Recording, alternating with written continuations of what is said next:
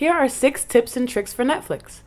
We'll show you how to use Netflix codes to find hidden content, set the best video quality, turn off autoplay, personalize your profile, keyboard shortcuts, and how to download shows and movies for offline streaming.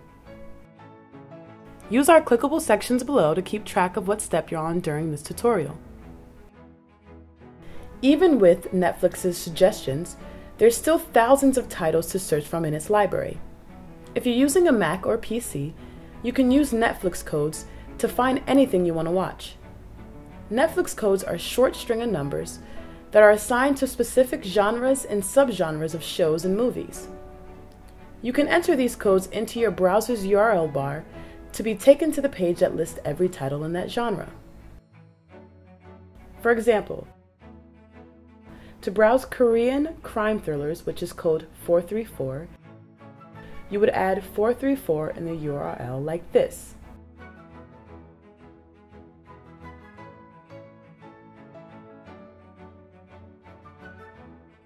Netflix gives you the ability to adjust your video and audio quality. In account settings, scroll down to the user profile and click the arrow to reveal the drop-down menu. Scroll down and click Change for playback settings. Here is where you can change between low, medium, and high video and audio quality. To make it easy, choose Auto and Netflix will choose whichever quality is the best for your connection. Choosing a lower quality can help you with controlling your data usage. Once you log on to Netflix, video previews of movies and shows will automatically play on the homepage. To disable this feature, click the profile icon and open account settings. Scroll down to the user profile and click the arrow to reveal the drop-down menu. Click Change for playback settings and uncheck autoplay previews while browsing on all devices. Then click Save. Each Netflix account can have up to five different profiles.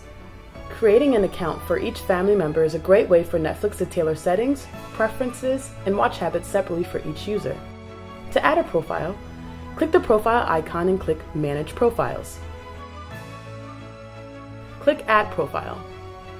If it's for a child, choose Kid.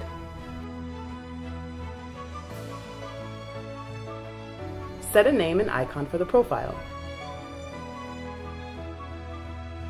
And then press Save. When watching Netflix on Mac or PC, you can use your keyboard to control your playback settings. To play or pause the video, press the spacebar. To open full screen mode, press F. You can exit full screen mode with Escape. Fast forward 10 seconds with the right arrow key. Rewind 10 seconds with the left arrow key.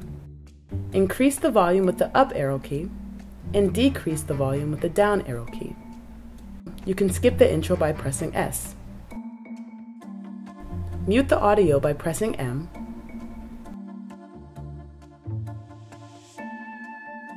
Netflix allows you to download shows and movies to watch offline so you can watch content without an internet connection. The feature is only available for mobile devices like smartphones and tablets and limited to certain titles. Open Netflix and search for the title you'd like to watch. Tap the title to reveal the page details and options. Tap the download button, which is the downward pointing arrow. Once downloaded, an icon will appear next to the movie you've chosen.